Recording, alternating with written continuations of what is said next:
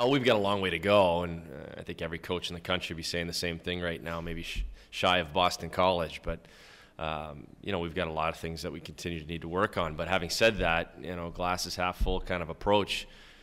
Last week uh, was a great week for us. You know, and I give all the credit in the world to our, our, uh, our seniors, our captains, for making sure the guys were focused and, and using the time appropriately. Um, sometimes it's tough, you know, when you don't have a game to look forward to at the uh, at the end of a week of, of training on and off the ice.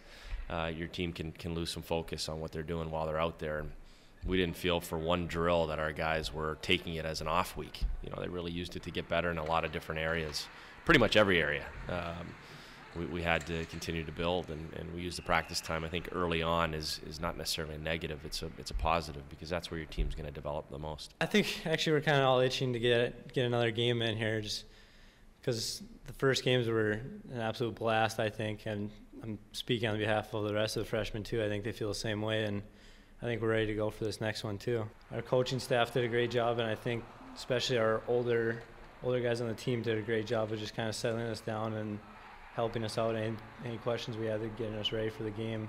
They did a great job and made us feel pretty comfortable heading into those games. You know, despite the the polls, um, you know, I don't think any any of us really believe that they're they're only capable of being a you know a sixth or seventh place team. I think they're as capable as anybody is taking a run for the top spots. I think Mark has done such a good job of you know finding players that maybe have been overlooked that allowed them to get to uh, a very competitive spot within Hockey East and now they have some difference makers. You know, they've got Cannata and net, who's a very good goaltender. Da Costa back was a sweepstakes win for uh, for Merrimack and their program because uh, the flight risk was was pretty substantial for him. But to Stephane's credit, he felt like he needed to get stronger and, and more mature physically to uh, be able to handle the pro level. So, good news for them, good news for our league because he's a special player.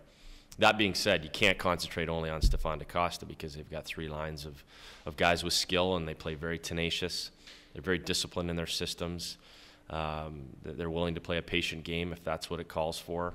And they can play an aggressive game if, if that's the way it's going. So I think they've got a good good team identity right out of the gates as, uh, as well again this year from what I've seen on film. Yeah, Merrimack, they're, I think they'll be a bigger team than Denver and a lot more physical.